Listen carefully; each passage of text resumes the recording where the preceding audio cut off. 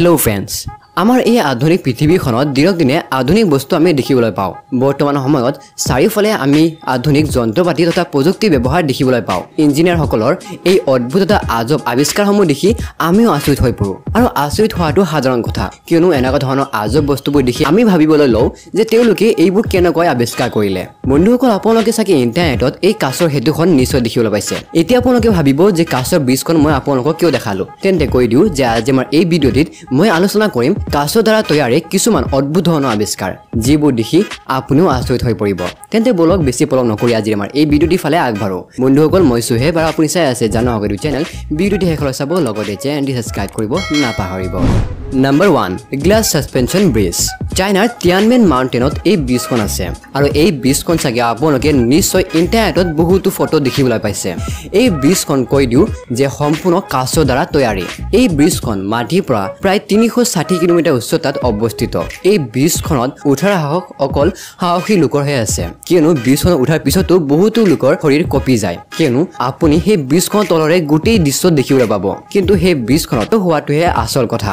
কিয়নো সকলো মানুহে সেই ব্ৰিজখনত উঠিবই নোৱাৰে। যদি আপোনাৰ হৃদয়খন দুৰ্বল তেতিয়াহ'লে আপুনি সেই ব্ৰিজখনত কেতিয়াও নুঠিব।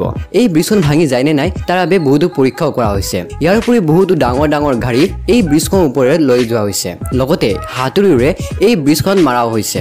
নাম্বাৰ টু এই ব্ৰিজখনো তিয়ানমেন মাউণ্টেইনত অৱস্থিত। কিন্তু এই ব্ৰিজখন আৰু ভয়ানক কিয়নো এই ব্ৰিজখন মাটিৰ পৰা প্ৰায় এক কিলোমিটাৰ উচ্চতাত অৱস্থিত। লগতে এই ব্ৰিজখন পাহাৰৰ কাষতে অৱস্থিত।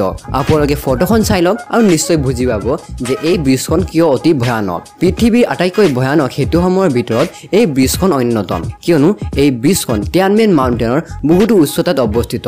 লগতে এই ব্ৰিজখন সিমান মজবুতো নহয় বুলি কোৱা হয়। কিন্তু তথাপিও মানুহে মৃত্যুৰ লগত খেলি এই ব্ৰিজখনৰ ওপৰলৈ যায়। কিন্তু আজিলৈকে তাত কোনো ধৰণৰ দুৰ্ঘটনা হোৱা নাই। কিয়নো সেই ব্ৰিজখন বহুতো ডাঠ কাছৰ দ্বাৰা তৈয়াৰী। Number three glass swimming pool. বন্ধুসকল বৰ্তমান সময়ত ইঞ্জিনিয়াৰসকলে বহুতো ধৰণৰ আজব তথা অদ্ভুত বস্তু কৰিবলৈ লৈছে। ঠিক সেইদৰে ডুবাই ফাইভ ষ্টাৰ কণ্টিনেণ্টেল হোটেলত এটা চুইমিং পুল আছে আৰু সেই চুইমিং পুলটো সেই হোটেলখনৰ ওপৰত অৱস্থিত। লগতে আপোনালোকে দেখিবলৈ পাব যে সেই চুইমিং পুলখন বিল্ডিঙৰ অলপ কাষত অৱস্থিত। আৰু যদি আপুনি সেই চুইমিং পুলত জঁপিয়াই তেতিয়াহ'লে আপুনি সমগ্ৰ চহৰৰ দৃশ্য দেখিবলৈ পাব। বন্ধুসকল সেই চুইমিং পুলখনত সাঁতুৰিবলৈ সাহসী লোকৰহে সাহস হ'ব।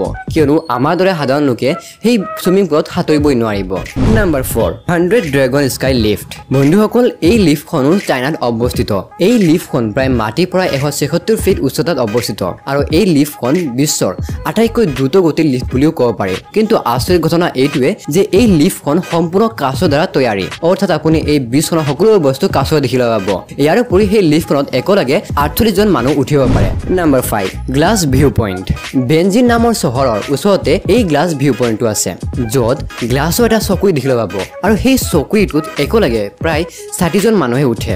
লগতে ইঞ্জিনিয়াৰসকলে কৈছে যে এই লিফ্টখন টাইটেনিয়াম গ্লাছৰ দ্বাৰা তৈয়াৰী। অৰ্থাৎ এই গ্লাছখনত যিমানে চেষ্টা নকৰক কিয় কেতিয়াও ভাঙি নাযায়। তেন্তে বন্ধুসকল এইকেইখন আছিল কাছৰ দ্বাৰা তৈয়াৰী কেইটামান অদ্ভুত ধৰণৰ বস্তু যিবোৰ দেখি আপুনি চাগে নিশ্চয় আচৰিত হৈ পৰিছে। লগতে আপুনি এনেকুৱা ধৰণৰ ঠাইত যাবলৈ বিচাৰেনে নিশ্চয় কমেণ্ট কৰি জনাই দিব। আশা কৰোঁ আজি ভিডিঅ'টি ভাল লাগিল আৰু সেইবাবে ভিডিঅ'টি লাইক কৰিব লগতে শ্বেয়াৰ কৰিব নাপাহৰিব। আৰু আগলৈ এনেকুৱা ধৰণৰ আমোদজনক ভিডিঅ' আৰু চাবলৈ আমাৰ চেনেল নিশ্চয় ছাবস্ক্ৰাইব কৰিব বুলি আশা থাকিল লগতে ঘণ্টা বাটনটো দবাই দিয়ক। তেন্তে আজিৰ ইমানখিনিয়ে লগ ধৰিম নেক্সট ভিডিঅ'ত ধন্যবাদ। জয় আই অসম জয় ভাৰত।